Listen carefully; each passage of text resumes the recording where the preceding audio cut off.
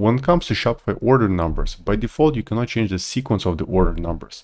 They usually start with 1001, followed by 1002, and so on. But there's one thing which you can do is add prefix and suffix. So let me just show you how to do it. Um, go to your admin panel and then click on settings.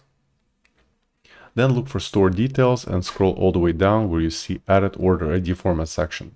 So the default prefix is the number sign. And um, depending on your business, you might want to add an abbreviation for your store name. In my case, it's development store, so we can just put DS.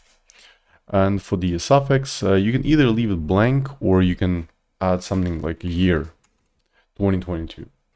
And once you click save, you'll notice that uh, the newer format does not reflect the older order numbers. But whenever you have a, the next order, some somebody else places the new order on your store, or you place it yourself, you'll see the newer order will have a new format. So let's just create a test order right now.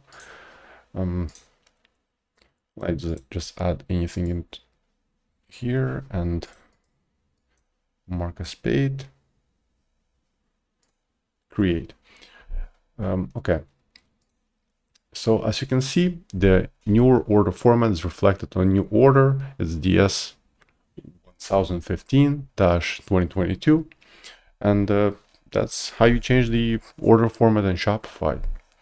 So um, I hope you found this uh, Shopify tutorial useful. And if you want to learn more about Shopify, please be sure to subscribe to my channel. Thank you.